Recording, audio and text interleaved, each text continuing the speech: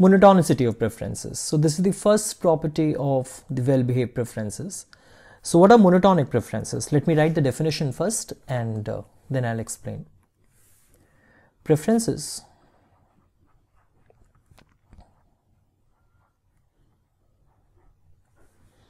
are monotone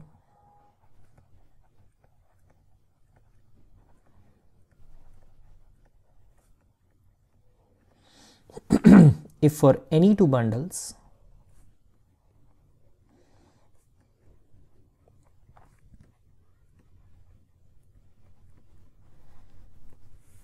x and y. So x is this bundle x1 x2 and so on to xn this is the nth dimension commodity vector for x. Similarly y is y1 y2 and so on to y yn right? Now if xi is greater than yi for each i what do you mean by this? That is this x is greater than this y this x2 is greater than y2 this xn is greater than yn for each i right? Or you can say for example you have the bundle 2 3 4 this is 1 2 3 so this is greater than this this is greater than this this is greater than this right? For each i. Or if that is not the case then xi is greater than yi for some i that is if you have the bundle 2 3 4 and 1 3 4 so 2 is greater than 1 but other two are same right? So in either of these two scenarios when all the elements of x are more than all the elements of y or if one of the element of x is greater than the corresponding element of y and all others are same.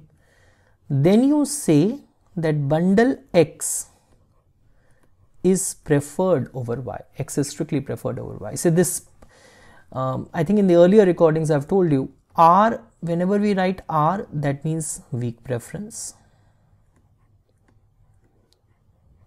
And Varian use this uh, this uh, what do you call terminology for this? And this P is for strict preference.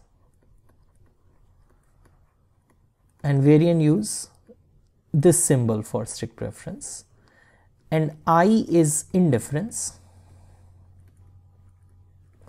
Varian uses this symbol for indifference. So we can use interchangeably whatever we can but you just follow whichever book you are following. So whatever text is there in your university.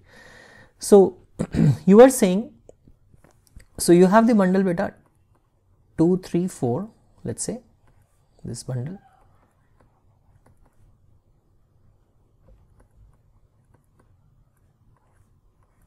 And then you have the bundle 1 2 3 right? So all the elements of x so 2 is greater than 1 3 is greater than 2 4 is greater than 3 anywhere.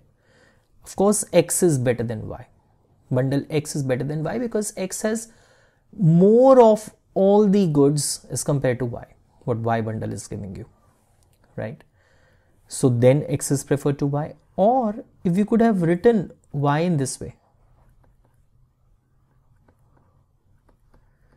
Here also x is better than y because the the amount of the first good in x is more than the amount of the first good in y. All others are same. Even then x is better than because what is this telling you is that more is better.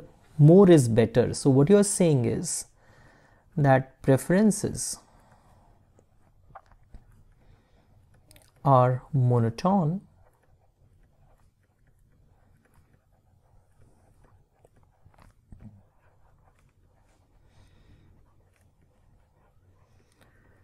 if more of any good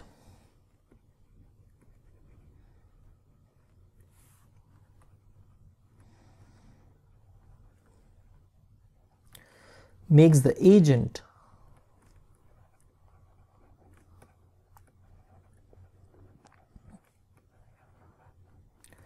makes the agent strictly better off. You can also write this in terms of the utility function, right? You can also write this in terms of utility function. So if xi is greater than equal to yi, right, for each i, then also the bundle X is providing you more utility than bundle Y. Again, I'm telling you with the same example. So you have 432 or whatever, and bundle Y has 3, 2, 1. So bundle X has more of each good as compared to bundle Y, right? So the utility which you will derive from bundle X is more than the utility which you derive from bundle Y, right? One thing is that. Or if it would have been like this.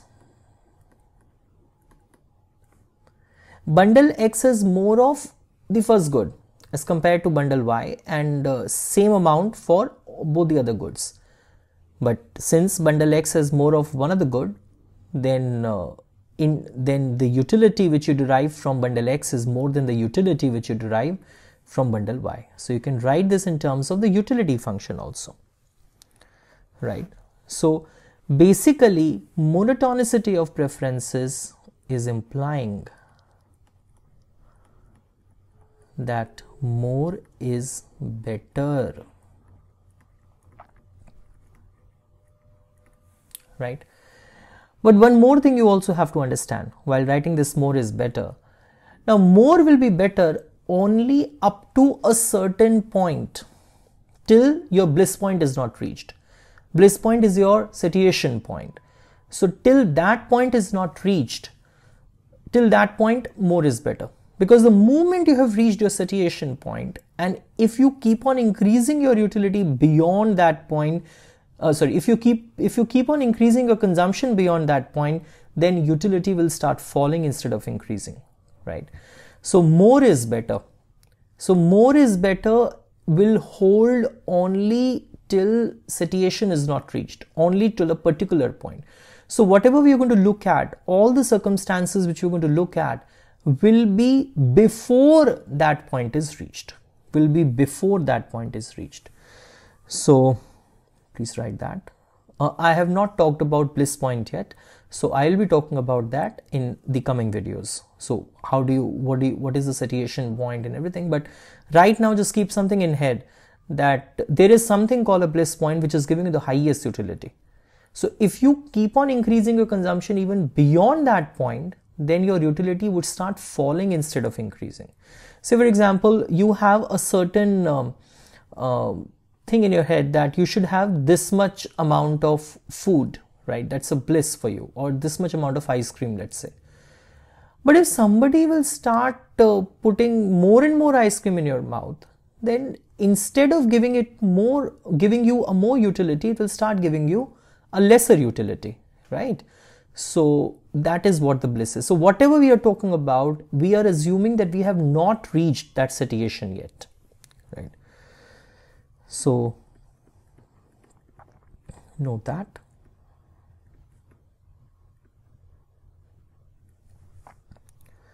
More is better.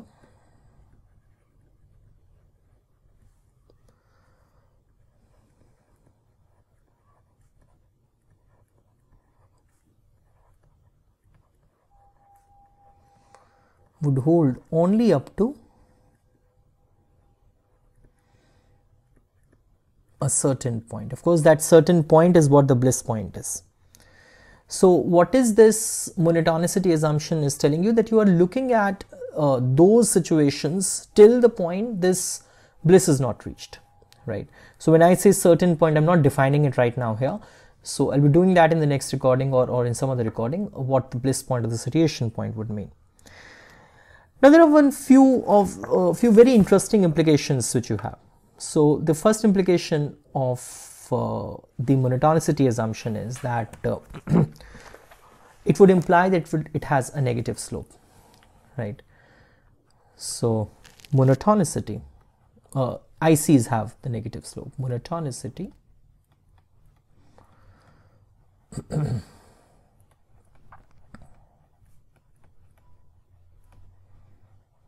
would imply that indifference curves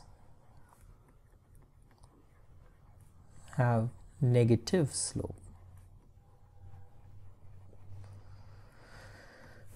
Right. So monotonicity would imply that indifference curves would have a negative slope. So for example,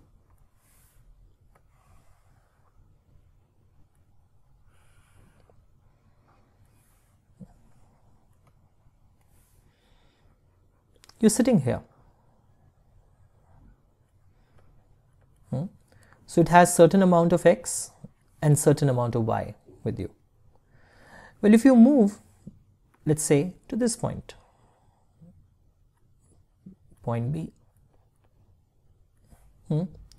If you move to point B, let's say, then what happens? You have more amount of x, but same amount of y.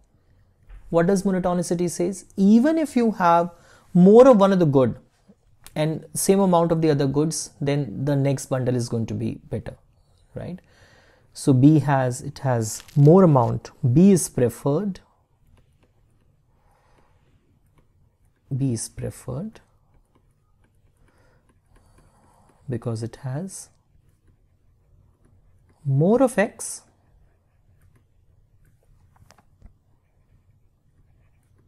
and same y because it has more of x and same y, right? Well, and the moment you move from A to B, you do not remain at the same indifference curve. Why? Because the indifference curve has the property that every point in the indifference curve is going to give you the same utility. So B is strict, B is going to give you strictly more utility. So B cannot be on the same indifference. So it cannot be like that. What about this? C. Hmm? C is definitely preferred because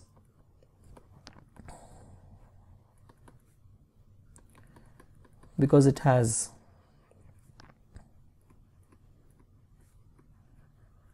more of both x and y right? C is definitely preferred. So if you move from a to c you will not remain at the same indifference Indifference would mean what? Utility is same. The utility at C would be strictly more than the utility at A. Right. What about D?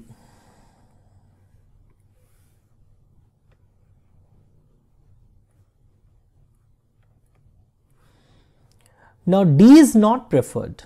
Why? Because it has less amount of X and same amount of Y. D is not preferred. Hmm? D is not preferred because it has less amount of X and same amount of y. So A is preferred over D, D is not preferred. So if you move from A to D, you move on to the lower utility, not on the same. Again, again, I'm telling you, indifference would mean that every point is going to give you the same utility. B and C can't give you the same utility as A, D also cannot give you the same utility as A. What about E? Let's say. E is also not preferred. A is preferred over E because E has lesser amount of both X and Y, they're not, give, they're not going to give you the same utility, right? So even they are gone. What about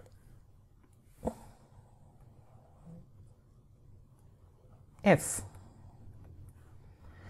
So I'm not writing this again and again, this you know, you can you guys can write. So it has same amount of X and more amount of Y. So F is preferred over A. F is preferred over A, right? So F is giving you more utility as compared to A. G. G has same amount of X and less amount of Y. Now G cannot give you the same utility. I should draw with the another ink. So that you remember what's going on.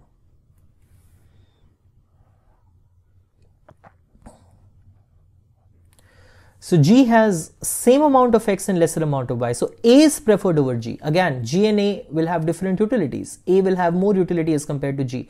And when you say that something has more utility as compared to this, I have realized that B has B, C and F. They are they have more utility as compared to A because of the monotonicity assumption. More is preferred.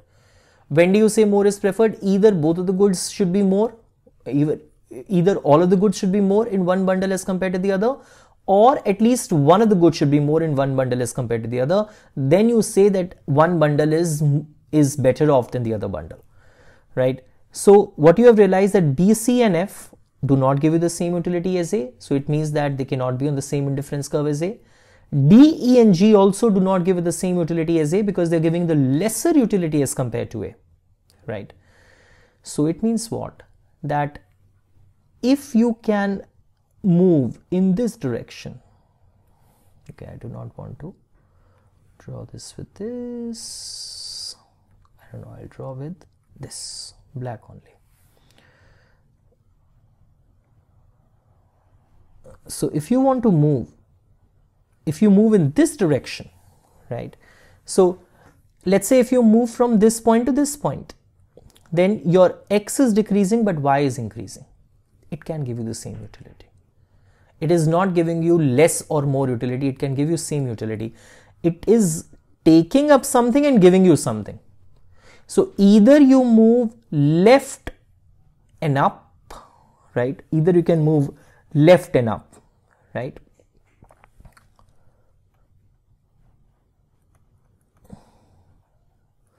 or you can move in this direction. It is giving you more amount of x and less amount of y. Or you can move right down. Right. So these points are giving you, can give you the same utility, but not these points. You with me? But not these points. So these points are giving you the same utility, but not these points. Hence, the because of the monotonicity assumption, you've been able to say that yes, this indifference curve has a negative slope. So if you are moving to an indifferent position, you should be either moving left up or right down. Because these points F, C, B, D, E, G, all of these points are giving you different utilities. But these points can give you the same utility. They are taking something and they are giving you something, right? So this is what it is. And the second implication is that monotonicity would imply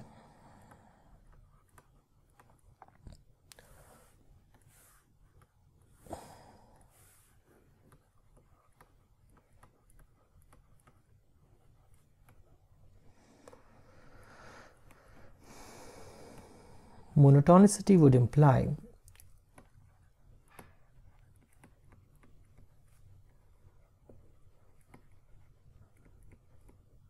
that indifference curves are thin that indifference curves are thin right? So how do we how do we talk about this? That is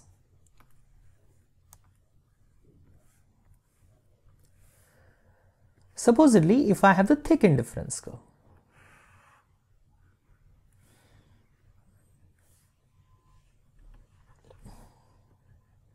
so i have x and i have y hmm, and uh, I have thick indifference curve. So let me just draw one of the indifference curve as uh, let's say I draw this thing as the indifference curve right? So I've drawn this thing as the indifference curve. Now think about it. You are here right? This is point A it has some amount of x and some amount of y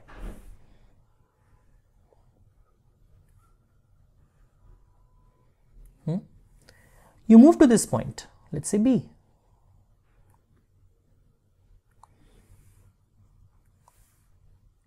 It has more amount of x and more amount of y. But still it is giving you the same utility because it is a thick indifference curve. All points on this are giving you same utility because these are thick indifference curves monotonicity assumption, it rules out thick indifference curve. So because if you want that you should be able to say that more is better you need to have the indifference curves which are thin right for example you need to have such kind of the indifference curves.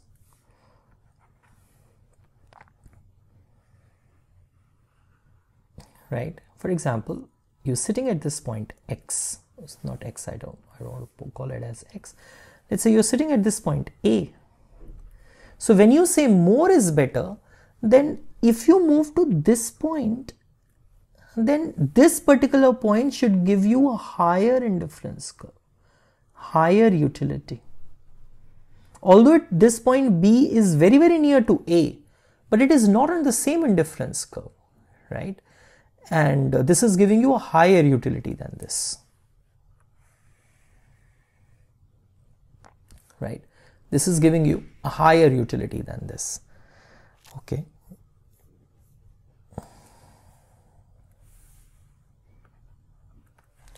Third monotonicity assumption.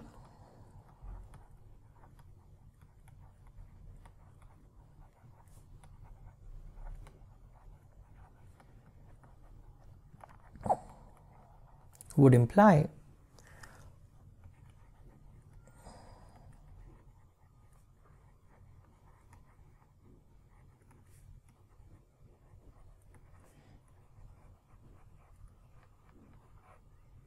that an agent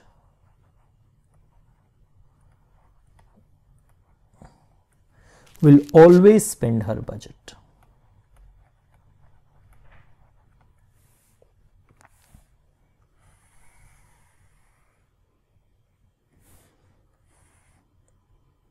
Hmm. Monotonicity assumption would imply that agent would always spend her budget. Now think about it.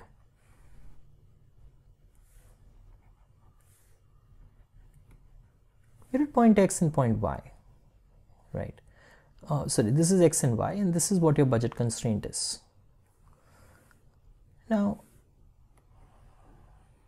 there's an indifference curve which is passing through point A. Now, don't you think that you can actually increase your uh, consumption for both the goods and you can move till this point. And why do you want to move to this point? Because you want to move to the higher utility.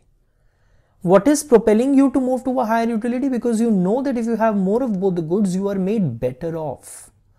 So at point B, you have more of both the goods as compared to A, right? As compared to A, you have more of both the goods and you are spending your entire budget.